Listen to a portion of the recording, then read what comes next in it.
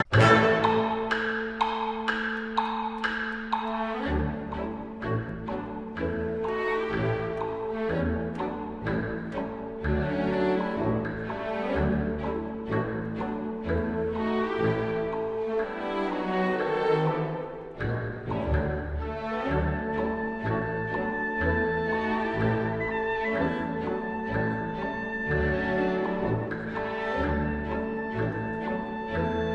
I liked the way their fingers move really fast, like the girl on the violin. It was amazing. It was awesome.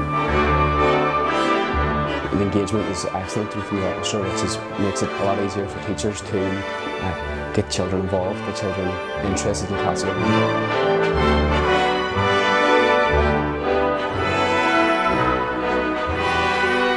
I got to see classical music live on stage.